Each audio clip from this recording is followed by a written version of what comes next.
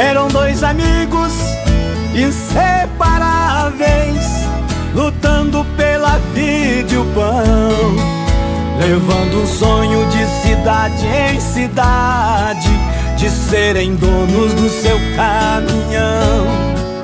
Com muita luta e sacrifício para pagar em dia prestação, se realizava o sonho finalmente o empregado passa a ser patrão.